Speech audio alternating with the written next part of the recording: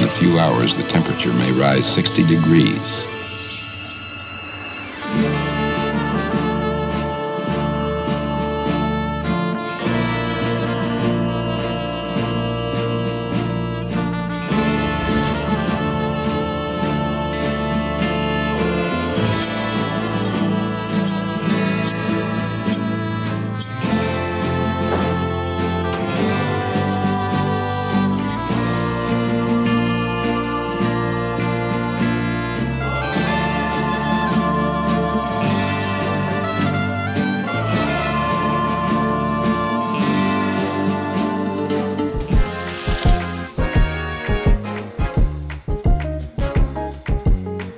Welcome back to another episode of Sweet Heat, and today we are making tacos, but not just any tacos, tacos norteños.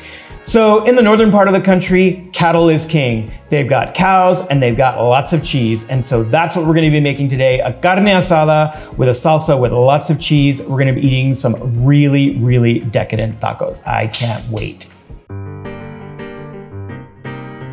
Okay, so today, as usual, I am getting heat from a lot of places. So I'm really excited because I have so many different kinds of chile. I've got a poblano, I've got serranos, I've got jalapenos, and I've got chipotle. The sweet in this dish is coming from oranges. I really, really love pairing oranges with jalapenos or with chipotles. I think they play really well together. I'm also adding a light pale lager that's gonna be part of the marinade. And again, lime, orange, chipotles. It's gonna be really, really delicious with that lager. And so that's what we're gonna be marinating the ribeye in. The thing about ribeye or pretty much all cuts of meat here in Mexico when you're grilling is they cut them really, really thin. So this is about an inch and a half thick uh, ribeye that they then cut into quarter inch steaks. So I'm gonna go ahead and lift it up just so you see how beautiful this is and then I'm using corn tortillas. You can use flour tortillas as well. I like both.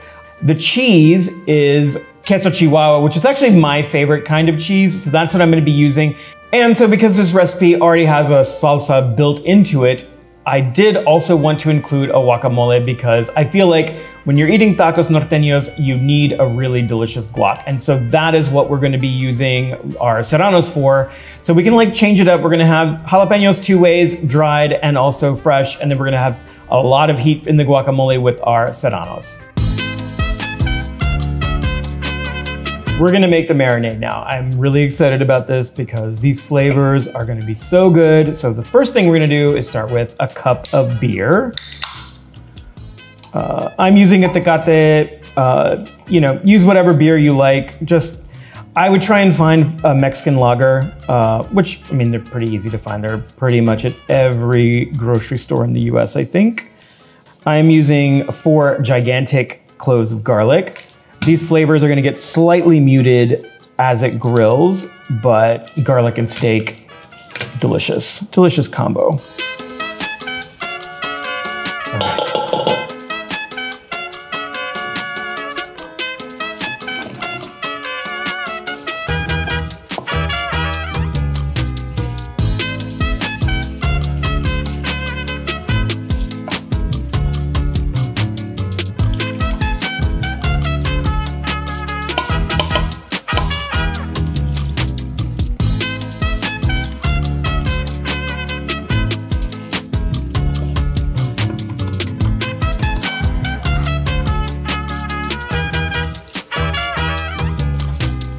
Gonna cover this with plastic wrap and put it in the fridge and let it chill for about an hour.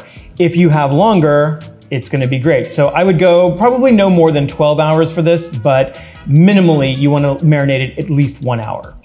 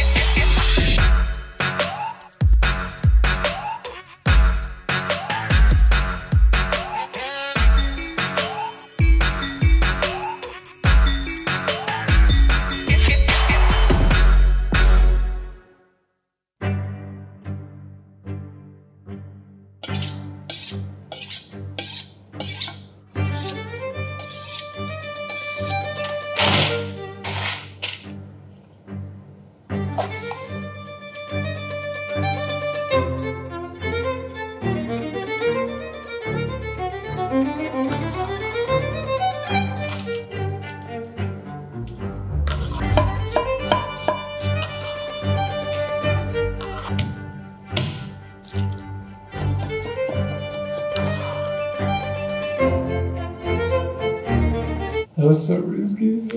So risky? What do you mean? Like, imagine, like, I don't know, you move your hand a little bit and just like your finger. Okay, I, like again, this is not the first time I've like cut something.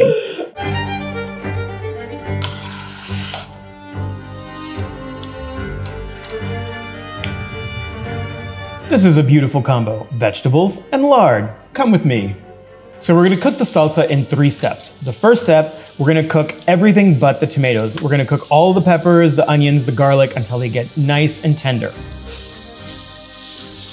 Step two, we're gonna add the tomatoes. We're gonna cook those down until they release a lot of their liquid and they get really jammy.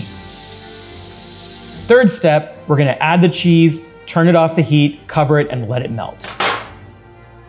Okay, while the cheese is melting, I'm gonna go light up the grill. We're gonna get the steaks ready, grill them. When we come back, this salsa is going to be completely amazing and melty and delicious.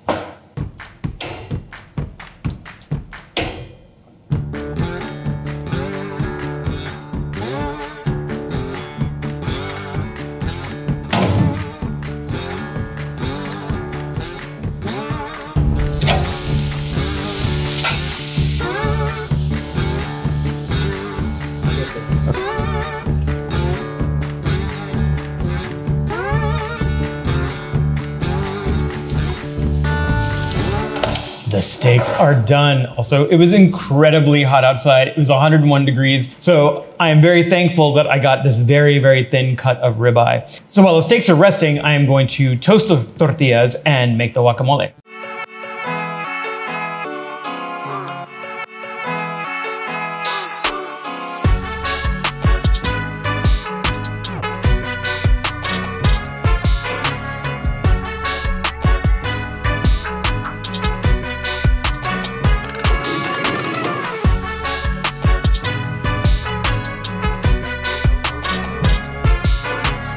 So for those of you who don't have a molcajete or a mortar and pestle, totally fine. All you have to do is just use a bowl and either a potato masher works great or even the, a fork.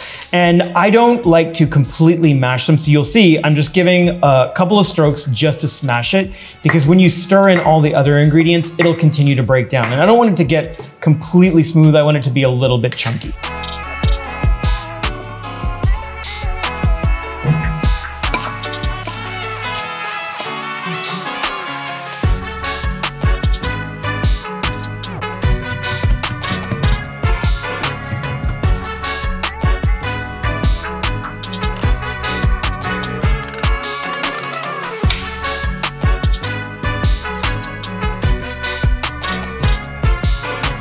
If you are using skirt or flank, you wanna make sure that you cut against the grain. So you can see the strands of protein are going from left to right. And so when I say cut against the grain, this is what I mean. You're basically just cutting them like that. And that will ensure that it's completely tender.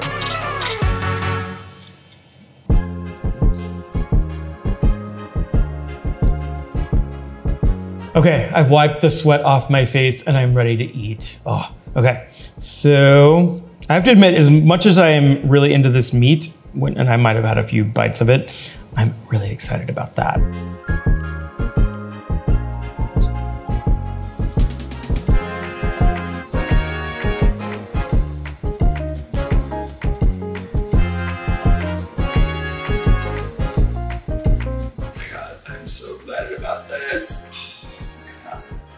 God.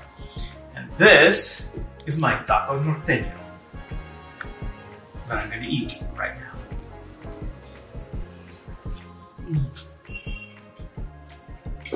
Mm. The textures and the flavors, and even the the heat level, the um, the cheese and the tomatoes are actually really warm, and the the guacamole is a little bit on the cool side.